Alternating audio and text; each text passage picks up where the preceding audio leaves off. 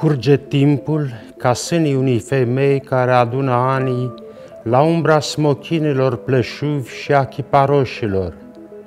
Totul curge, cum observa înțeleptul. Totul se naște ca să plece într-o vreme dinaintea începutului.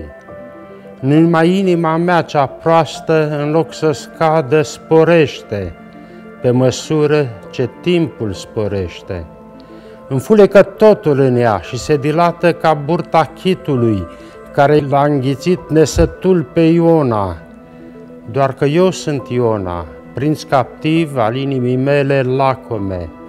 Și frumos mai înoptează, Doamne, pe insula nestatornicului Taur.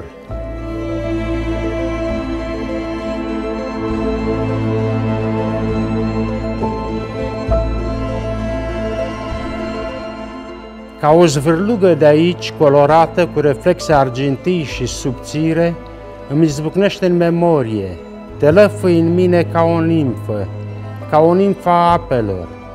Îmi mângâi retina cu o dureroasă răcoare, dar o lupoaică ești când îmi înfuleci inima marcată cu un ilustru semn din leagănul Ciprului.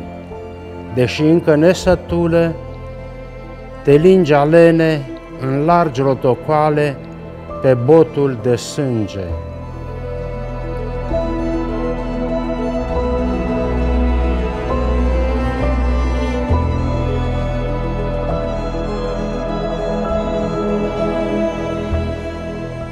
Despărțirea de poezie. Ne trecem viața ca și cum totul ar merge de la sine.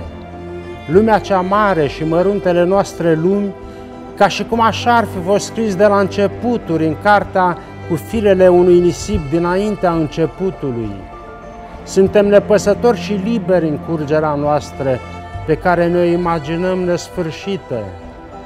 De la începuturi nu vedem lupta, deși îi dăm instinctiv nume după spiritul vremilor, binele și răul, cosierii corsi, fiii luminii împotriva fiilor întunericului, atracția și respingerea, sistolă și deastolă, iubire și ură, pe toate le învelim într-o poșghiță subțire, o mantie precară a uitării. O numim muzică și chiar muzica sferelor, o poreclim credință și chiar înțelepciune, îi spunem în toate felurile, răsplătindu-i pe cei care ne ajută să slăvim minciuna. Până când se petrece ceva pe neașteptate, dintr-o dată, care sfâșie vălul, poate e vălul lui Isis, și rămânem goi și de nimic apărați. Rămânem în splendida noastră agonie până la sfârșitul ultim al lumii. Acesta e prețul. Am pus capăt minciunii.